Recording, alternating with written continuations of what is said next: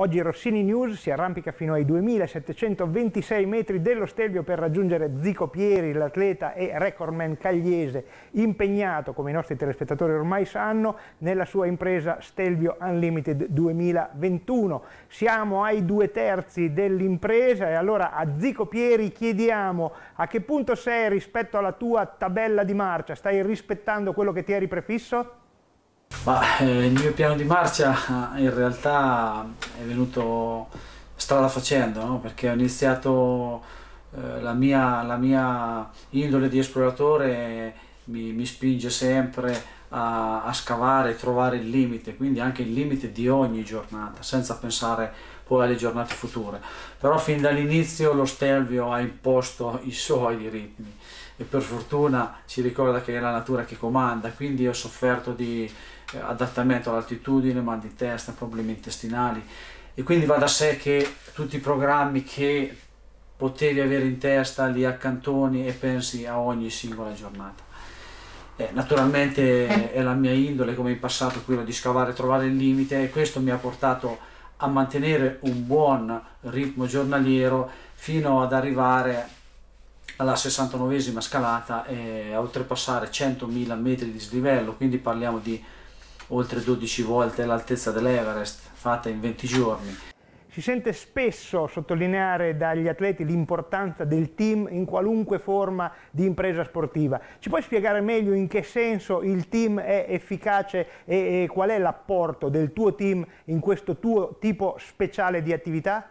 Ah, il team in questo progetto è stato assolutamente fondamentale fin dalla partenza, fin dalla progettazione, fin dall'inizio del progetto e, e, si è visto chiaramente che anche durante la performance, durante le scalate hanno un'importanza cruciale. Più di una volta mi hanno visto in grande difficoltà e, e si sono stretti intorno a me anche cambiando a volte i turni di avvicendamento. Magari era programmata che venisse lì una sola persona, ma vedendomi in difficoltà poi mi sono ritrovato con due, tre, quattro persone anche in ammiraglia per darmi il sostegno. Eh, questo naturalmente mi dà una grande forza. Eh, in più si sono aggiunte anche altre persone che hanno collaborato con il team, eh, molti hanno fatto centinaia di chilometri per venire a sostenermi ed aiutarmi. Li ho visti ripartire anche col magone, con qualche abbraccio profondo, quindi c'è veramente una condivisione totale all'interno del team e credo, credo eh, sono fermamente convinto che questo sia fondamentale perché, perché nello Stelvio in questa natura potente, selvaggia e per fortuna dico potente, selvaggia perché ci ricorda bene chi è che comanda e chi è che detta le regole, eh, sarebbe stato quasi impossibile eh, arrivare fino a questo punto. Eh, anche per me è sorprendente perché siamo oltre i 100.000 metri di slivello. A due terzi dell'impresa si sente di più il peso di tutto quello che è stato fatto o l'effetto calamita del traguardo che ormai si sente come imminente? A due terzi dell'impresa si sente la bellezza di tutto quello che è stato fatto. Potrei interrompere qua eh, la mia avventura e, e, avere con me una grande ricchezza da portarmi a casa e da raccontare, quindi assolutamente il valore di quello che è già stato fatto. Eh, per quel che riguarda invece quello che dovrò ancora fare, eh, beh, la, vedo, la, vedo, esattamente in questo modo, vedo, mi mancano dieci giorni, e comincio a pensare che sono pochi e comincio a pensare che questa avventura, questa bellissima avventura sta per finire, quindi esattamente il contrario di un pensiero negativo.